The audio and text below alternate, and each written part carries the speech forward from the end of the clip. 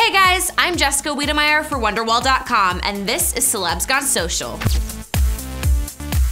The holiday season may be behind us, but that's no reason to stop the vacation. Not if you're Adam Levine and Behati Prinsloo, anyways.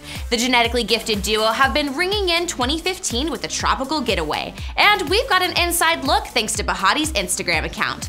Over the weekend, the Victoria's Secret angel shared a short but sweet video of herself goofing around with her hubby in a swimming pool with a view. New Year's resolutions do more of this. Hashtag meerkats, she captioned this silly clip. Check it out. so dumb. Behati returned to Instagram yesterday to share this shot of herself and a gal pal heading down to the beach, along with the caption, Heaven is truly a place on earth. No shoes, no problems. Well, that view certainly looks heavenly to us, and we're not just talking about the beach. The Victoria's Secret model also posted a photo of her hubby in the midst of the most serious beer pong game in 2015 or maybe ever. We especially love Adam's championship belt, but we have to ask did he steal that teeny tiny tank top from his wife's closet?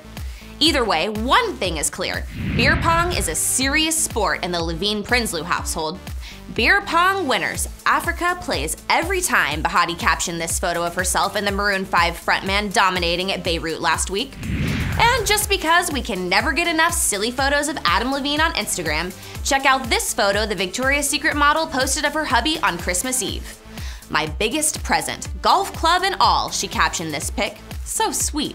And that's it for today's Celebs Gone Social. Once again, I'm Jessica Wedemeyer for Wonderwall.com. Thanks for watching and see you next time. Thanks for watching, and don't forget, you can catch every episode of Celebs Gone Social each Monday, Wednesday, and Friday by subscribing to Wonderwall.com's YouTube channel.